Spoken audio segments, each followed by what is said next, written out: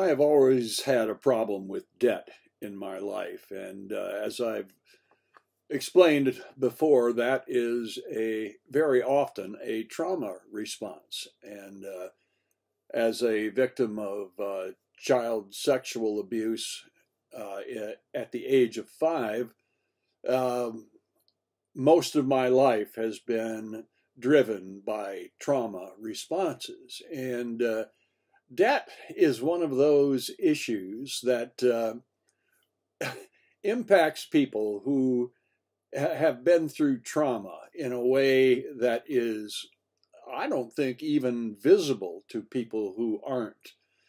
So uh, let's talk a little bit about uh, uh, debt and why I believe that uh, dunning notices in the postmodern world is a total exercise in futility. A few years ago, actually many years ago now, I uh, uh, was considering my fourth bankruptcy. And uh, I had uh, debt that was in the range of four to five thousand dollars, and you say, well, geez, that's not a lot of debt, Terry. But let me tell you, when you live on a fixed income like I do, debt is a serious problem because not only do you pay the debts, but then you have to deal with interest being uh, ta- uh, tapped on top of it. And you see, all of this uh, comes from uh, the worlds of pre-modernism and modernism, uh, both of which were top-down um, cultures that we uh, have been through. Uh, but today we're in the postmodern culture, and uh, you know that is dominated by the great horizontal because we are all the same. A URL is just a URL, and uh, we can talk to each other uh, interact with each other uh, at the bottom of what used to be a pyramid with the uh, cultural leaders being on the top. And we're trying to figure this out as we go along. So it's, uh, as I've said uh, in the past, it's like trying to fix a car while you're driving it. It's, um, it's not possible. So I contacted this, uh, this um, public debt service, and uh, you know they handle uh, helping people with debt.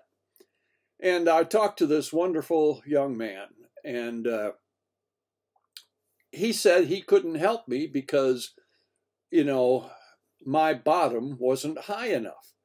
Uh, that you had to have at least ten thousand dollars worth of uh, debt, and uh, in order for them to consider you viable for the program. So uh, my debt of only $5,000 was really insignificant to the top down culture, but very significant to me because it impacted my ability to actually stay alive. And uh, so I'm in this conversation with this guy who tells me that I don't qualify. And I, I said, Well, what am I supposed to do? And here's what he told me, and I want to, you to listen to this very carefully because this is from a man who deals entirely with people in debt. He said, Are any of these debts secured? And I said, No, they're just credit cards. And he said, Then why don't you just ignore them? And and deal with the credit ramifications because you actually can live with really lousy credit and uh, even you know prosper. So uh, rather than do another bankruptcy i decided to just uh, ignore the dunning notices that came to me. And uh, this obviously uh, was devastating to my credit and uh, I have found a way to live with that uh, because I just don't care. The, the last words this guy said to me was, enjoy your money. Enjoy your money. And so that's what I did. And, you know, I was, you cannot believe the dunning notices that I get in my life because some of these credit companies, you know, when they run out of uh, steam and contacting you, they will pass it along to another company who views it as a fresh debt, and they will bombard you with dunning notices. Pay, pay, pay, pay, pay. And they have a legal right to do this. Uh, dunning has been around since the uh, 16th century in uh, in the West, and uh, you know, it's actually a uh, a part of the uh, the system of personal responsibility that uh, was touted especially by Christian extremists in the 1990s. Personal responsibility is an important part of being a Christian, they would say. You know, but to me, in my view of Christianity, that's really insignificant because it's a part of life under the sun. And uh, the management culture that I've uh, talked about previously. So let me talk to you just a bit about one company. Uh, you know, and I hate to name names, but this one, their behavior is uh, so uh, out of touch with postmodernism sometimes that it really is perplexing to a guy like me. And I'm talking about the online bank Affirm, A F F I R M. I love this company uh, because they will send out to me notices when a payment is due and, uh, you know, how to go about uh, dealing with them on their website which to me is uh, ludicrous. So, if you wish, go to their website and find a way to contact them. it's uh, it is so buried under a pile of uh, answering machines, you know, and and computerized responses that um, you're never dealing with a human being when you talk to Affirm. It's a computer. And as I've explained before, computers aren't able to process mercy. They want nothing to do about it. It's all justice. It's uh, you have a responsibility to pay this debt. I disagree with you on that. If if you know, don't give me a credit card, and you would be amazed at the offers I get for credit cards.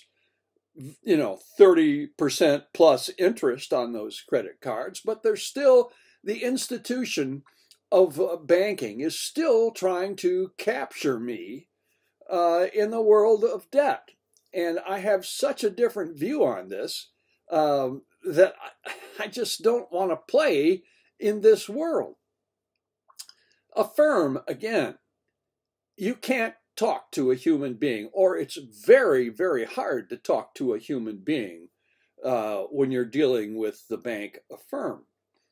Um, and I, um, I keep telling them, and I have told them, why don't you make it as easy for me to contact you as you are able to contact me? That is the reality of the great horizontal. I have the ability to interact with them, but they don't want to interact with me. Even if I just, even if it's just a note to say, hey, I'm going to be a few days late on this payment. No, you cannot give them that information because there's no avenue available uh, for you. So it's strictly a top down mechanism of the management culture. And uh, I think we've got to find a better way. You know, there are there are plenty of uh, companies who you know will steer you to some form of gov- governmental uh, relief, but let's remember that the government in the modernist world is in cahoots with the business world to keep things running, and so eh, you know, plus banks are run by the extreme elite uh, of this country. Extreme elite and rich people you know, dominate the banks and therefore are in cahoots with the government to keep it keep things just as they are. That is going to fail miserably. You know, maybe it'll take some, you know, new invention of a bank, you know, in order to pull that out. But if it's not interactive today, it's useless. It's totally futile. So why do they keep doing it? Because they're training their instincts as top down manipulators is at stake. And they're not going to give up on that easily. So this is a challenge to, you know, future generations. And I I think honestly they're up to that challenge. So let's figure it out, folks, because dunning notices are totally futile in the postmodern world. of course, I could be wrong because, you know, after all, I'm just a Common Terry.